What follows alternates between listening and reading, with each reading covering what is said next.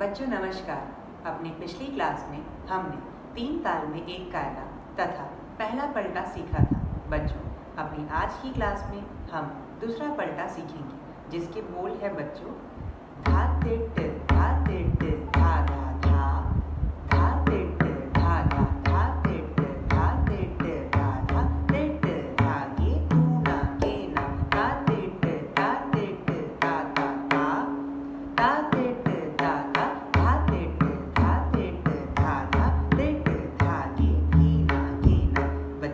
अब ये देखिए कि आपको इसे लय में किस प्रकार से बजाना है